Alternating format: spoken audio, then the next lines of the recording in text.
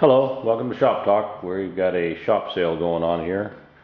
There's uh, approximately, looks like 12 starter housings, a couple of clutch covers, miscellaneous Husqvarna stuff. Most all of it's usable.